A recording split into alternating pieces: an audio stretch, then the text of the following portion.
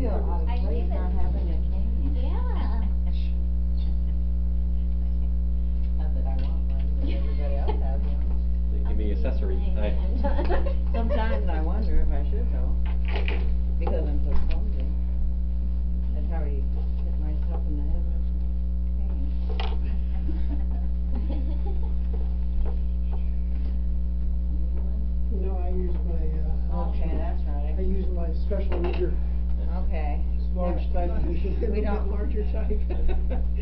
That would be the next thing too.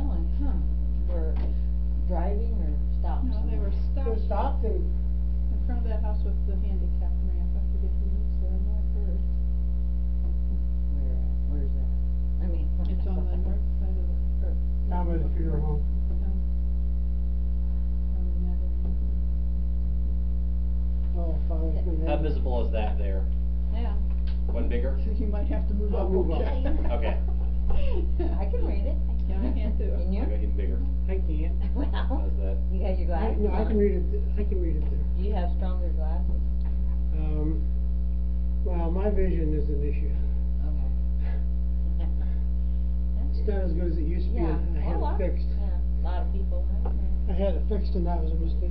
Oh, that's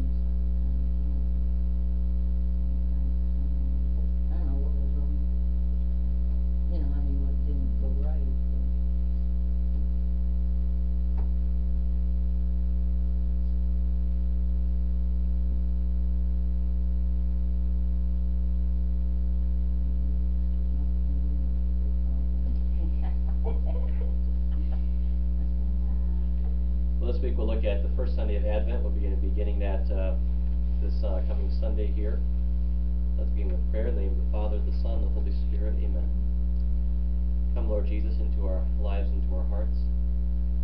As we prepare to celebrate your arrival at Christmas time, we take the season of Advent to welcome you into our lives, to make ready for your second coming, as you made the world ready for your first.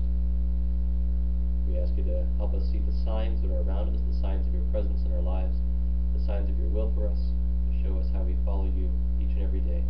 We ask this through Christ our Lord. Amen. Amen. And the Father, the Son, the Holy Spirit. Amen.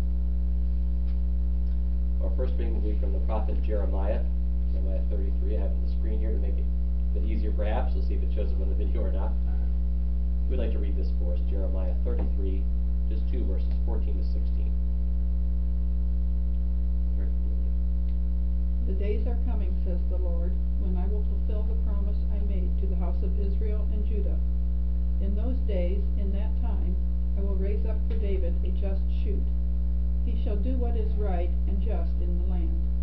In those days, Judah shall be safe, and Jerusalem shall dwell secure.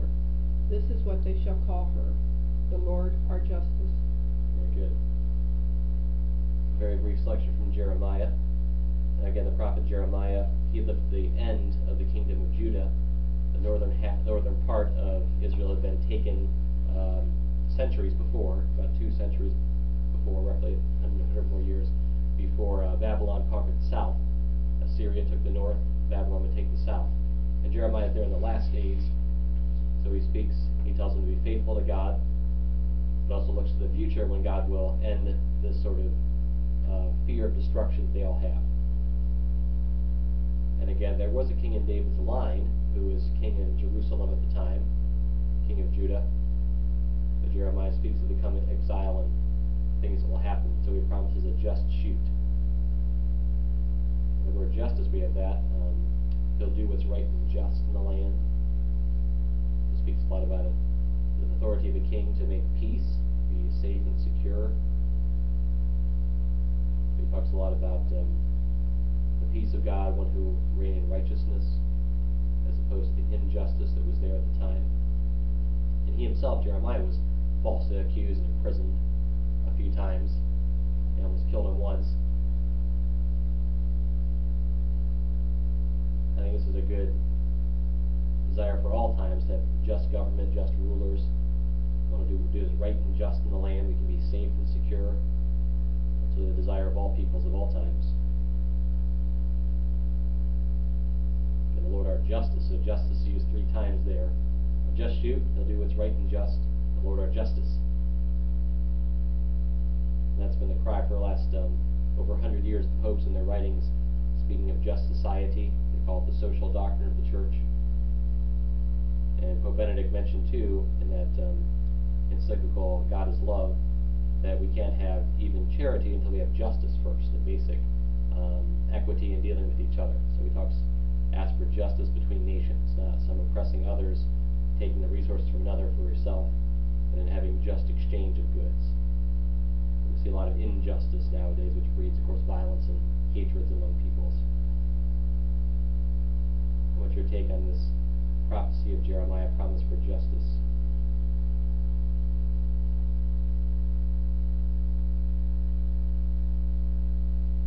You mentioned fear, fear of destruction. I, Yeah.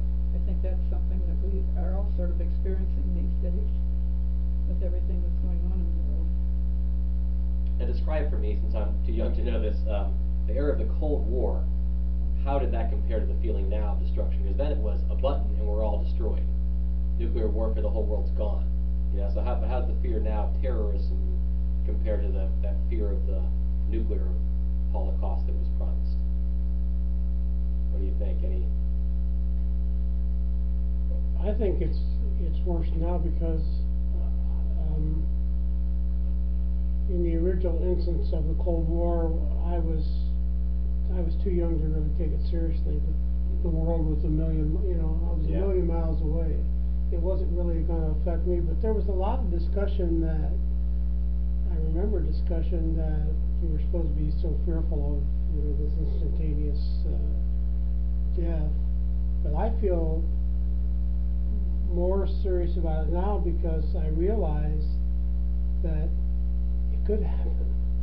I mean, it could very well happen at any time just by, you know, some whim of some, you know, this twenty-six-year-old radical guy that's trying to blow up Paris. Yeah. Him and his, and his group. Um, and I guess I feel more vulnerable now because of my age too. I would, I would say that. You know, I can't, I can't imagine myself going out and fighting a war. Yeah. At the time, you know, when I was in the army, never had to really worry about it, but I felt capable of doing it. Maybe now the technology is more portable, more people have access to it, that it was just big governments which had a lot of safeguards, even though there was certainly plenty of injustice in the Soviet Union. There was some understanding that uh, this mutual assured destruction wouldn't be good for them either, so there wasn't the, quite the take, and we had, of course, people kind of favoring destruction in our own country, but they were checked by different groups and everything. But now there's not that, if someone decides, it's my mission to destroy you people, I'll do it, they can do it. It seems like we had, society never really learns. It never really learns the lesson. It's like now we're talking about deporting twelve million people from the United States. It's, it's so illogical, but it's the same thing that happened with the Holocaust. I mean, they treated those people as if they were nothing, and we're talking about doing the same thing over and over. You know, they say if, if you don't remember what happened, you're, you're prone to have to live through it again, I mean, if you don't learn from it. It's just like, when I hear a certain politician talking, I think he's not very far away from Gestapo, he wants a, what did he call it, his, uh, immigration police, Oh, yeah. You know. They already have those in the border, there's quite a few. But I'm saying they're, wa- they want to go door to door in Ohio and, and Michigan and any, you know, any place there are, you know, up in Yeah. Michigan, they have a lot of Somalis in Michigan. Oh, yeah. Mhm. Up around Detroit. I mean, are they talking about? Too, for that matter. And they're talking about going door to door and rounding people up. Uh, I don't know. Yeah. You wonder again, I mean, we're a nation of immigrants, so even from that perspective, is that wise? The gospel, of course, not. Even legally speaking, it's like, that doesn't make any sense. I mean, there's other ways to pursue, to right wrongs, I would think, you know? See, I, I don't, I guess I've totally assimilated into the American culture. I mean, my family's been here for forever. Yeah. since, uh, from eighteen thirty-two, so to me, it, it, it just, I don't feel as if I'm in, I don't live that immigrant Yeah. experience, I never have. I know lots of people have, like, uh, Beth, Beth uh, Heidinger, Beth Haas, Mhm. I mean, she's very aware of her roots because her family came uh, from Italy in nineteen, whatever, nineteen twenty or something. So she's very much that way, but to me, I'm, I'm an American. I don't think of myself as an Irish immigrant. And your people come from Ireland? My family came from Ireland, yes, they Oh, did. There were some im- immigrants in there. Oh, yeah, there's immigrants. Yeah, I so mean, far I'm, back now. I'm the, I'm the offspring of immigrants, Right, but I just don't feel that. I We all don't- are. Well, that's, but I maybe they were crucified too, who knows? Yeah. And there Well- was, there was much injustice, you know, and I think it's good you mentioned the his, lessons of history. We've had that before where a group doesn't assimilate right away. Of course, that's why the mafia was here. It was, they were protecting their own interests of various, it wasn't just Italians, it was other groups too.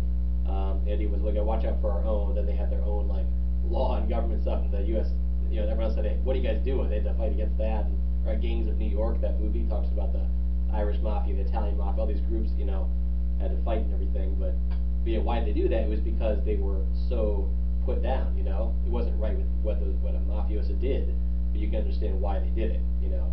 You say, well, what's the, what's the solution? It seems like justice would be a better way to go, you know? I suspect that, that my forebears experienced some of that because they were, I mean, they were the only Irish family for miles. Yeah. It was all Germans, people who settled here from uh, Alsace-Lorraine and all of that. And so I suspect that there was a lot of prejudice. I, I don't, I don't have any historical data about that, but you've gotta think about, well, like in Tiffin, they had a, they had a Irish Catholic church and they had a German Catholic church. That's right, when the Germans came, they said, we want our own church, and so they made a different one, St. Joe's, yeah. It's true, yeah. And I think about with my great grandfather sitting in the pews over here, he was probably the only Irishman, him and his offspring Yeah, were yeah. the only Irishmen around. Yep. That's very true, and I mean, um, know, we have, again, people don't like to think in nuance or see the complexity, so we have, especially in the political realm, we have two facets of it. We have, if there's violence done by immigrants or problems, then it's all our fault. So it, it's all our fault, blame ourselves for everything, that's the one side. And the other side says like, well, get rid of everyone to fix the problem. Like, well, that's not justice either, you know? So really, again, the truth is, again, the scriptures, it tells what to do. Uh, God says, you know, welcome the resident alien, treat them well in your midst. Tells Israel that many times. And those were pagans. These are not people who love the real God. They worship false gods. He said, show respect to them. And the idea is like you'll convert them. That's the purpose of having these people. Um, so that Israel's even very, God tells them very well, said, you yourselves were aliens once in Egypt. You were the people who were oppressed. And don't ever do that to anyone else. Of course, they don't listen then, right? But none of us listen ever. So he said, don't do that. He said, he doesn't mean you have to um, approve what they do, because they were they worship pagan gods back then. So don't approve what they do. Don't do what they do. Said, but encourage them. You know, treat them with respect and justice, and then evangelize them. So that's really the key. So I think that's kind of a template for us as well. That uh, those the resident alien in our midst, these people uh, don't have to approve everything they do, don't have to become what they are, but treat them with basic justice and respect, and then to always to evangelize. You know, so even in the Old Testament, they said they were allowed to take part of the Passover if they became circumcised, if they, they became one of God's people. So their origin didn't matter. It's like if you want to become one of us, you surely can. You know, but we won't treat you like um, a pariah. You're out there somewhere, but we'll welcome you. Um, so we have again that base level of justice seems to be the, the springboard from which the Gospels call us to, uh, to preach the gospel, you know, to, to proclaim Jesus Christ. And the Old Testament too speaks about that. You know, so even there was there was war again with other nations in the Old Testament. Uh, they had to fight against many, even the people in the Promised Land. But there are a couple, there are many who said, "Nope, we want to join you guys. Let's work together," and they did. You know, whole towns would become part of the Jewish people back then, the people of Israel. So I think we do have a good uh, good model for what to do in our own age too. of What to do. But still, it's driven by, fe- I mean, my reaction is driven by fear. Oh yeah, and all of us are. And fear is a motivator, right? It keeps us alive, but then we can misapply it sometimes, you know. Or we're called to even tr- to transcend that natural fear with a supernatural trust, supernatural faith. God called us to do that. That's why He even had to tell it to Israel. If it was natural just to welcome the stranger easily, God wouldn't tell us to do it. You know, He didn't tell us like make sure you eat food every day and go to sleep. We're going to do that anyway. You know, the Scripture says, you know, you're not going to do this naturally uh, to welcome a stranger because there's fear there that they're they'll now they'll attack me. They're different than me. So He said, no, work to welcome the stranger. You know, to to invite them, make them part of part of your life, and again to do basic justice to them. And I think that's really the answer. Again, we can look to scriptures for, you know, solutions to modern problems. They can help us a lot with figuring that out. That's, that's really true. I mean, when you think about this, this is, what's going on now is, is rooted in biblical history. Oh yeah, oh yeah, big time.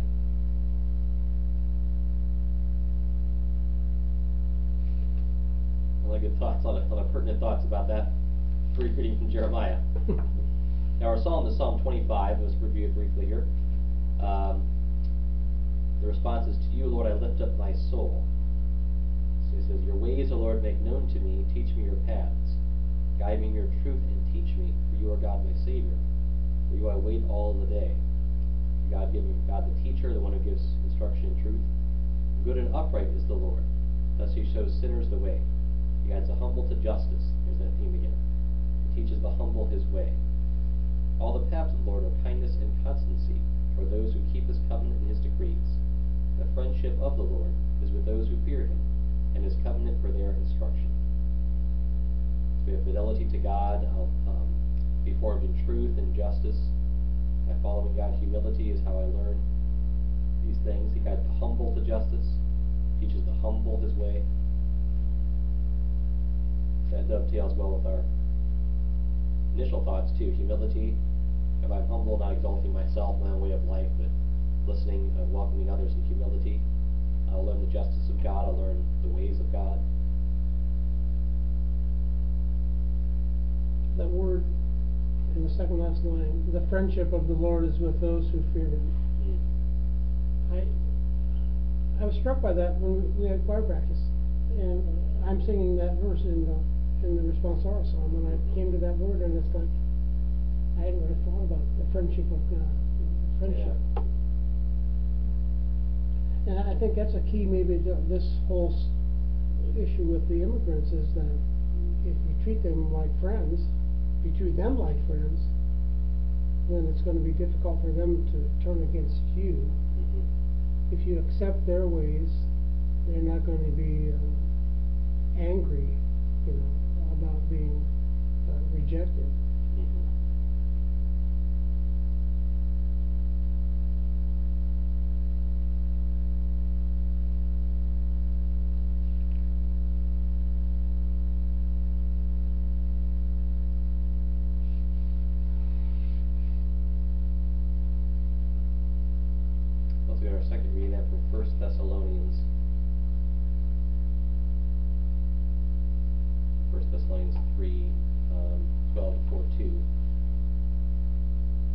this one, St. Paul, he visited them briefly. Um, I think it was after he had to leave Corinth, if I'm not mistaken. He had to leave somewhere. So he saw the Thessalonians, he preached the gospel to them, but he couldn't stay very long. So he had to write them a letter to correct a few errors they had. Uh, and several of these were, um, don't, you don't have to work because Christ is coming back any second now, so they stopped working.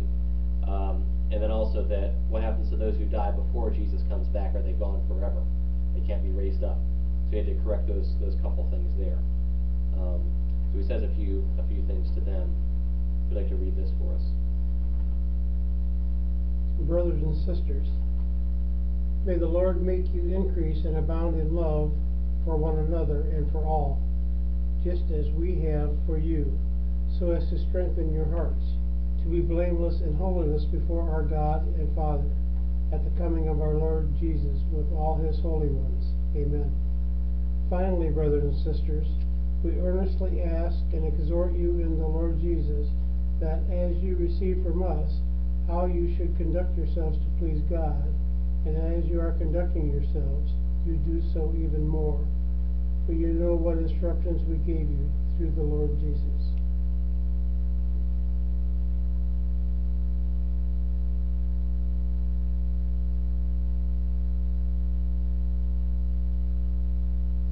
So encouragement to continue behaving as a Christian.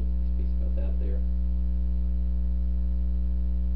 May the Lord increase uh, and abound in love. May you increase in love for one another and for all. The love of God and love of neighbor.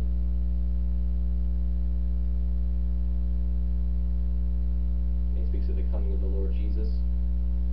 You got to increase your love so you can welcome the Lord when he comes.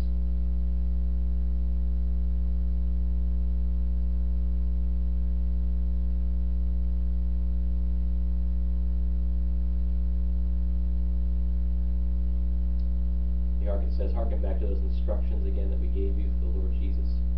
He was telling them, you know, go back again to the, the fundamentals of the faith you received. I think it's good for all of us to you know, review those regularly. It's good to remind ourselves again what, um, how should I conduct myself as a Christian?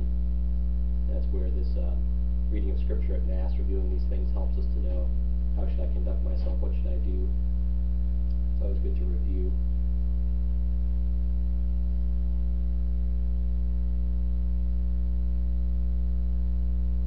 Well, with that in mind, let's take a look at the gospel then. We have uh, Luke's gospel we're going to look at. That would be in year C.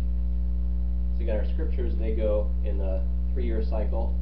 In the same order the scriptures go, we have Matthew, Mark, and Luke, and then John. So Mark is fairly short, so we supplement him with John's gospels, especially feast days. As Mark, uh, in St. Peter's style, Mark is a scribe of St. Peter. He is think very terse and very to the point. St. Luke, though, is a little different. I have you for you some uh, information from the Navarre Bible, the wonderful study Bible. It tells us something about the author of St. Luke's Gospel. We have quite a lot of information from Scripture itself about St. Luke.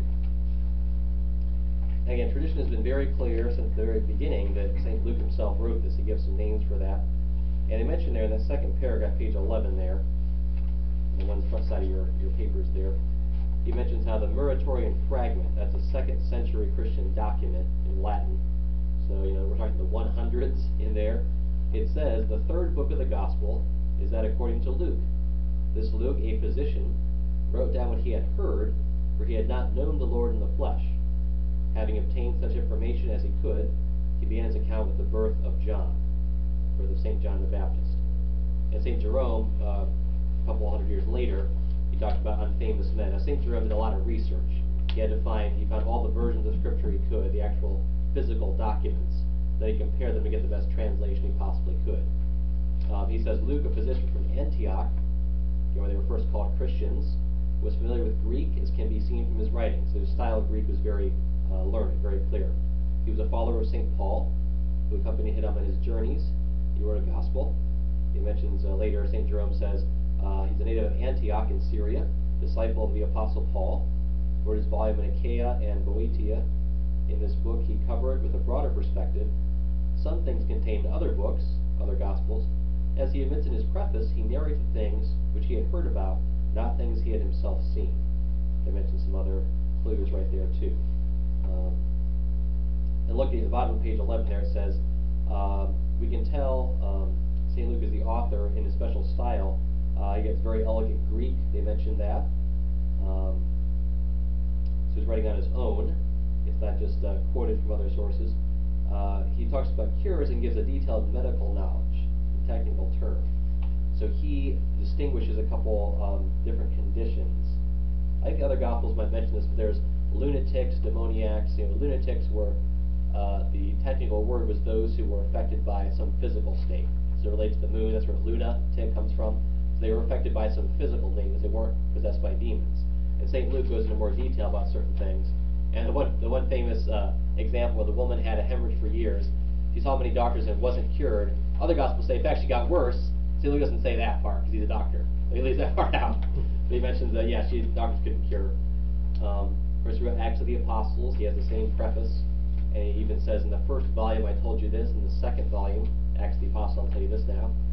Um, he was a disciple of St. Paul as well because they said the language and doctrine is very similar uh, to St. Paul's letters as well, but clearly not St. Paul who was writing. They mentioned things like that. Um, on the bottom of that page, they mention the apostolic figure of St. Luke. Acts of the Apostle says many things. Um, he talks a lot about the church of Antioch, more so than anyone else, which indicates he is from there. And also a Gentile, he's grouped with other Gentiles. In St. Paul's letter, he was not a Jew. Um, he became a Christian quite early, we think, though we're not sure when exactly. But he did not see the Lord, so he had to rely upon the, the apostles. And actually, the Apostle there mentions um, he was a companion of St. Paul. In fact, he shifts in this uh, first person plural a couple times. Says, we went here, we went there. So we know he was with St. Paul for quite a long time. Um, they mention a couple places he went with St. Paul. Um, then, sec- then the next paragraph, second letter of Timothy, Paul refers to Luke as being his only com- uh, companion during his second imprisonment in Rome. Only Luke is here with me. So Luke was there, went to Rome with him as well. And tradition says he went and preached the gospel in Bithynia and Achaia after the death of St. Paul. And it says he um, suffered much in the name of Christ and died filled with the Holy Spirit. But the details aren't known to us too much. So St. Luke's gospel, again, he's going to uh, focus especially on a, a Gentile perspective. So he'll fill in some of the details about Jewish things that we don't understand, that people in his time wouldn't understand. And also, he consults a lot of a lot of sources. Now they tried to show that like he contradicts Matthew and Mark, but really he doesn't. He gives a little more detail on certain governors and uh, different elements of the, the rule of the region that the others didn't concern themselves with so much. Again, being from Syria, he talks about the Syrian governor and different things like that, that the others weren't so focused on because they weren't from Antioch like he was. That's pretty clear there. Um, I may give you that next page about, uh, yeah, historical accuracy, they mentioned that. Biblical Commission 1912 talked about that as well. St. Luke, um, it's vouched for by the author's declared intent to write a true account would enlighten and confirm the faith of his readers. Again, the prologue, um, St. Luke writes as a historian. And one special style historians did, they wrote a lot of people giving speeches. So St. Luke, you'll see, he focused a lot on the speeches people give, like St. Peter at Pentecost, different ones Jesus gives, he focused a lot on speeches. They like to declare history that way. Um, he references secular history quite a lot, other ones don't do that so much. About that. And again, um, one theme of St. Luke especially is uh, Mary. Uh, the others don't mention uh, Mary's perspective as much as St. Luke does. The tradition also holds that St. Luke uh, talked a lot with the Blessed Virgin Mary, and he got a lot of her perspective. Only he talks about the um, Annunciation. It's not in St. Matthew's Gospel. St. Matthew has Joseph's perspective, speaks about um, Mary was found with child with the Holy Spirit, Joseph has the dream. St. Luke, though, must have had some first-hand account from Mary herself, it's the only thing she would know about the angel, what the angel said to her, Gabriel, her visiting Elizabeth, Magnificat, and even St. John the Baptist. Um, Mary would have known that too, because she saw Elizabeth for quite a few months and stayed with her, so she would have heard the account from St. Elizabeth as well. Because Saint, no one else could get it, because um, they were probably dead by that point, they were quite old by the time St. Luke was alive, and also John the Baptist was killed before, so he couldn't be interviewed. So it seems like this is really, in a sense, Mary's gospel St. Luke gives us. A lot of things in her perspective the others don't mention. Now, John, of course, St. John took care of Mary, and so he has a lot of special things too, wedding of Cana, and also the foot of the cross. He gives a lot more of that. But wrote after St. Luke, so he doesn't, he doesn't tread the same ground again. St. Luke gave us a lot of details here. So that's a lot about St. Luke. So again, really interesting to see the, the things they bring out, their own personality coming through the gospel, and the way they focus on certain things for us. And St. Luke, especially with the medical knowledge, historical accuracy, wanted to give good detail about the secular setting, and also Mary's perspective too. So a lot of, a lot of good details there. Well, our selection today is from, again, the end of Luke's Gospel. We're still in end times talk. Advent begins the same way the church year ends. And we're in the Olivet Discourse, it's called. This is the Mount of Olives. After they leave the temple, Jesus says it'll be destroyed. And then his disciples question him in the Mount of Olives, which overlooks the Temple Mount. It's outside Jerusalem. It's called the Olivet Discourse in Luke and also Mark's, St. Mark's Gospel, and Matthew's Gospel. Um, so we have here, I'll just read this for us, Luke 21, skips around a bit. 25 through 28 and verses 34 to 36. Jesus said to his disciples, There will be signs in the sun, the moon, and the stars. And on earth nations will be in dismay, perplexed by the roaring of the sea and the waves. People will die of fright, in anticipation of what is coming upon the world, for the powers of the heavens will be shaken. Then they will see the Son of Man, coming in, a cloud with power and great glory. But when these signs begin to happen, stand erect and raise your heads because your redemption is at hand. And later he says, Beware your hearts not become drowsy from carousing and drunkenness, and the anxieties of daily life, and that day catch you by surprise like a trap. For that day will assault everyone who lives in the face of the earth. Be vigilant at all times, and pray that you have the strength to escape the tribulations that are imminent, and to stand before the Son of Man. We referred a lot to David Currie's book, his wonderful book, about the rapture. So it goes a lot into end times. Again, St. Daniel's prophecy, there's a lot about uh, end times in St. Daniel. He's given the timetable for the Messiah's return and the problems that will happen before that. So St. Daniel gives the statue with the four parts, uh, the four beasts that will come, and uh, the little horn who raises, who attacks God's people. So it's fulfilled initially in Antiochus Epiphanes, who was the Greek successor to Alexander the Great in Palestine. He persecuted the people in Maccabees. We hear about that. But of course, it's fully fulfilled in uh, the church being persecuted, temple being destroyed, Nero Caesar, all the problems that happened there. Well, the little thing here, this idea, it starts off with St. Luke. He said there'll be signs in the sun, the moon, and the stars. What's this all about, you know? Now, we said before in the homilies, I've mentioned how uh, Jesus is prophesying the temple's end right here.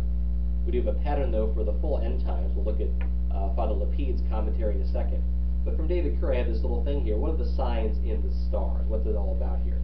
Well, there on page 180 in the back of your handouts, there I have for you this. He mentions in that second full paragraph here, um, he, well, the first one he says about um, Josephus. Uh, he mentions how there were these accounts eyewitnesses saw.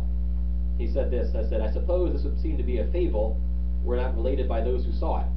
Says, this seems kind of weird, but here's what people saw at this time. It says, there was a star resembling a sword, which stood over the city, Jerusalem, and a comet that continued a whole year before the Jews' rebellion. So great a light shone round the altar and the holy house, the temple, it appeared to be bright daytime, which lasted for half an hour. Moreover, the eastern gate of the inner court of the temple was seen to be opened of its own accord about the sixth hour of the night. The men of learning understood it, that the security of their holy house was dissolved of its own accord. So these publicly declared that the signal foreshadowed desolation that was coming upon them. A few days after, before sunsetting, chariots and troops of soldiers in their armor were seen running among, about among the clouds. Moreover, at that feast which we call Pentecost, as the priests were going by night into the inner court of the temple, as their custom was, to perform their sacred ministrations, they said that in the first place they felt a quaking, and heard a great noise, and after that they heard a sound as of a great multitude saying, Let us remove hence. This is pretty, pretty epic uh, kind of signs that happen there. Josephus gives even more too, a man who prophesied for seven years and all these crazy things happening. There are a lot of these signs here in the sun, the moon, and the stars. A lot of difficult things going on there. Powers of heaven shaken. The Son of Man coming in the clouds with power and glory. Now then, Father Lapide talks about this a little bit. He doesn't talk about it in St. Luke's Gospel because the same is given in Matthew. So here's his commentary, the parallel parts of Matthew's Gospel. Um, they mention after the tribulation all these things happening. And Father Lapide, he says, um, Well, think about the persecutions and temptations which arise from false messiahs and false prophets, false Christs. He said, or rather the tribulation which came upon the Jews at the siege of Jerusalem by Titus. So he sees again the initial fulfillment of this prophecy already happened, the temple being destroyed. But there will be, of course, future things that are similar. He mentions this here. Um, and he mentioned different saints, St. John Chrysostom, St. Jerome. Uh, they observed to keep his disciples and those who succeeded them in expectation of his advent, his arrival, that's what advent means, and the day of judgment, and to urge them to be prepared. Um, he seems to favor the mistake of the apostle to speak as though the end of the world would follow immediately Jerusalem's destruction. In a different way, the apostles understood it. So for although 1560 years, he's writing 1560 at this time, this commentary, have elapsed since Jerusalem was destroyed, many more will yet elapse before the end of the world. Nevertheless, all this period, long as it seems to us, whose span of life is so short, compared with God's eternity, is the true measure of time, is very small. Now again, we have David Currie talked about why does it seem like it takes forever for these things to happen. He Said, well again, Jesus answers two questions the apostles ask. When will the temple be destroyed, like he just said? When will the whole when will Christ return in glory? You know. So he answers two questions at the same time, which is why it seems confusing to us. So first he answers the temple's destruction. He doesn't really give a sign for the his second coming. He just speaks more about uh, this pattern of things will occur. Uh, he talks about this, um, etc. So things. Then he mentions here, um, for similar reasons, Isaiah, Jeremiah, all the prophets, they describe Babylon's destruction, Tyre, Egypt, and of Judea by the Chaldeans, the Babylonians. They pass at once to the antitype, destruction of the world, being the future fulfillment of that. So again, where we have these things um, shown in sign before, nations being judged and destroyed, as the final example of all wicked nations being judged and destroyed before the coming of Jesus. So a pattern is given to us here. Um, let's see, he talks about this a little bit. He says here, uh, by the darkening of sun and moon and the falling of stars, this writer, um, he mentions here, understands the blindness of the Jews and their calamities, and the slaughter which was made of them by Titus. So Josephus says there were signs, and some heeded them. Now the Christians heeded them because they were warned by Jesus. So we said no Christians were destroyed when Jerusalem was destroyed. They ran away. They heard, heard Christ's understanding. But Josephus says we all saw these signs, and some heeded them, some did not. He himself did heed them because he was not killed in Jerusalem. Um, by the shaking of the powers of heavens, this author understands the flight of the Christians from the city, whose holiness it was sustained the city. So they left, he says. The sun shall be darkened. He says, well, um, he says not until after all are raised from the dead. But again, he says this could refer to um, a eclipse of the sun, sun and moon dark, which happened at Christ's own death. Remember, in the cross, the sun was eclipsed. So such a thing could occur. It could be an eclipse of the sun or something like that. Um, so he goes into detail about that one a little bit there. Eclipse of the sun, darkening of the sun. Now again, remember too, also in Egypt the sun was darkened, right, as a sign of God's judgment upon them. But the Israelites, there was no, no darkness where they lived. So it also refers to that. Um, and then the moon as well, he speaks about that being now symbolically, he says, when the master of the household dies, his whole household is troubled.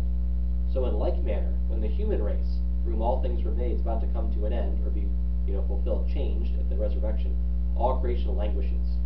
That's a kind of a deeper thought there we have. St. Paul mentions this too. All creation groans in expectation till we are saved. That somehow we messed up all creation by sin, and so it's waiting for final redemption. You know, until the new heaven, the new earth, when all our bad stuff has happened. Now, of course, we can see we act, we make things worse by our own actions, pollution, destruction, you know, de- destroying species, all this stuff. We kind of mess up the world. But even like our, our sense, our sin um, is a imperfection of the world, is a ruining of the world. And so the more we're saved from sin, the more creation is destroyed. That's why some of the saints talk were with animals, right? They had friendship with animals, and they were at peace, like St. Francis of Assisi, you know. Uh, Elijah was fed by a raven with food, you know. There's a fun book my friends found called Animal Helpers of the Saints their kids. It was a cute book for kids, but it's like real things that the saints did, you know. Because here again, like Christ the lion will lie down with the lamb, uh, or the, the future uh, creation will be at one at peace again. So the saints kind of foreshadow that. It's kind of peacefulness with nature and everything we like, you know. Um, he mentions here stars falling from the heavens, uh, comets and light bodies. He says we don't mean actual stars because, of course, he says those are way bigger than Earth. They couldn't fall on us, you know. He says things that appear to be stars. And actually, they used back then the word for um, planets even is like moving stars. That's the only word they have. It's like one word to describe all the stuff up there. Talk about that. Um, so it goes into a lot about the powers of heaven here, being shaken. Says the angels could be involved, could refer to them as well. How they will again assist at the judgment. He goes in great detail about that again, even even the Greek and everything, great, great details there. Um, he says, Then it shall appear the sign of the Son of Man. He says, What is the sign of the Son of Man? Says, I answer, it's the cross. For this is the sign because it is the standard of Christ, and the cause of the victory of, of believers. As it was before time the scandal of unbelievers and the impious, so will be in the day of judgment their condemnation and torment. As the Father says. So the church herself gives this meaning, her sanction, when she says, sings in the office for Holy Cross Day, This sign of the cross shall be in heaven, where the Lord shall come in judgment. He speaks about that. So in a sense, uh, he mentioned there was a cross-shaped star. Josephus said that, the sign of judgment. But also, again, really the cross itself, the fact is the sign of judgment. You know, people have a chance to accept Christ. Even these days, they know the cross is his sign, and they can reject that cross, reject the sign of the cross. I just saw the movie Quo Vadis the other day. It's 1951, big Hollywood epic, you know, thing. It was during the reign of Nero Caesar when he persecuted the church. And there's a centurion, um, a prefect. He's kind of he's uh, falls in love with a Christian girl, so he's trying to decide should I become Christian or not. So he's there in the house, and they have a little cross on the wall. I'm sure they actually used those yet at that time. He takes it and breaks it and throws it down. Says, I don't want this sign of the cross. He hates it, you know. Eventually, he sees that's the sign he has to choose to accept or to reject. And so the same way is true to sign this this cross to take up my cross, accept suffering. That's a sign of whether Christ will come into my life or will, whether I'll push him out. You know what's going to happen. So in a very personal sense, again, these these end time things speak about also our own end. You know, the end of our life too. Does Christ? Do we allow Christ to come in judgment in power and glory? Do we accept Him? Accept the sign of the cross in our lives? Do we try to push Him out? What happens there? So a lot of deep stuff to consider, of course. Um, and again, um, they mentioned, is this a bad thing? No, it's the beginning of a new heaven, a new earth. Because when you see these signs, stand erect and raise your heads, because your redemption is at hand. It's nothing to be, be coward and afraid of. If we accept Christ in our life, we seek to carry our cross after Him. This is part of our redemption. You know, to welcome Christ in glory. It's not a bad thing. Only for those who, who hate Christ and His church and all those who follow Him, for them it's bad because they've rejected Christ and they hate everything He stands for. But if we want to follow Him and accept Him in our lives, it's a good day to welcome the Lord when He returns, His advent. Some thoughts about some of those things? Cautions us to stay awake, be vigilant. These are the same readings, um, similar themes used in a funeral, by the way, to be vigilant, to welcome Christ when He comes.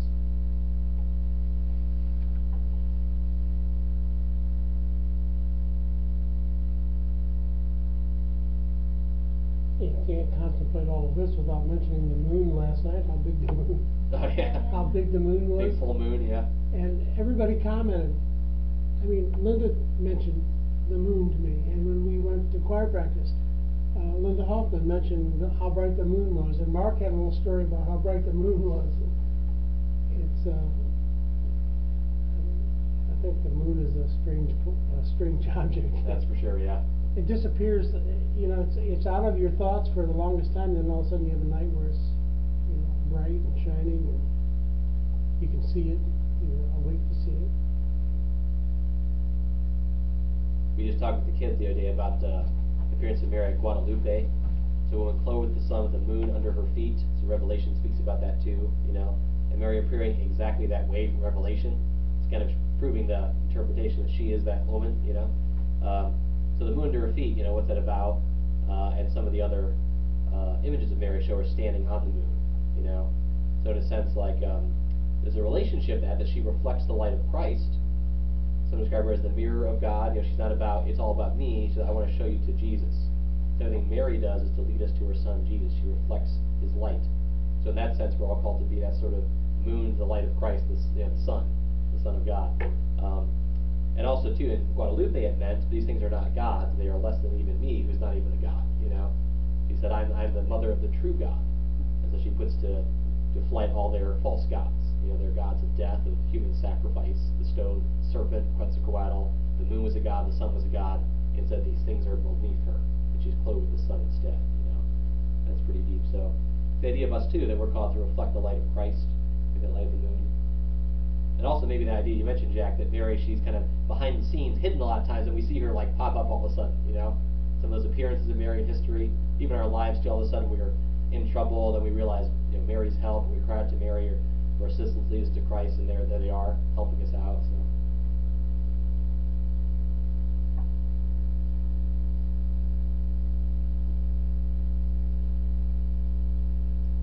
I think this part he mentions, you know, don't become drowsy. Don't let the anxieties of daily life distract you too. That's something else I think we can we focus on too much. You know, we can be you know avoid carousing and drunkenness, but sometimes the anxieties of daily life that can catch us. So we get too zoned in on those things, we forget uh, that God's in charge. You know, He's taking care of us.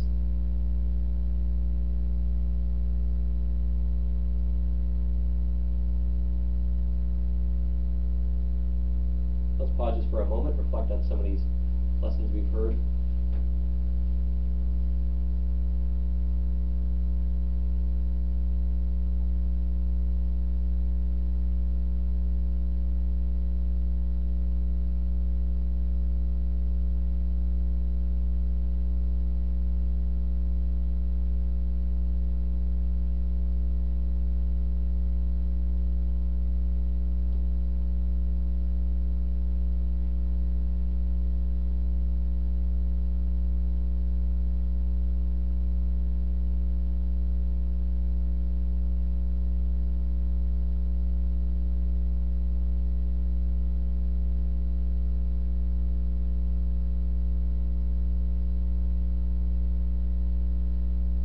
When we place our trust in God, let's petitions to Him in the cause of justice and also entrusting those anxieties of daily life to Him.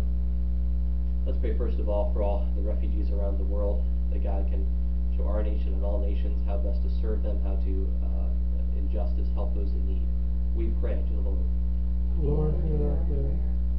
And we thank God as the time before Thanksgiving for all the blessings He's given to us. We ask Him to help us to trust in Him more fully in the midst of all our, our trials and tribulations. We pray to the Lord. Lord, hear our prayer. And for what else shall we pray today?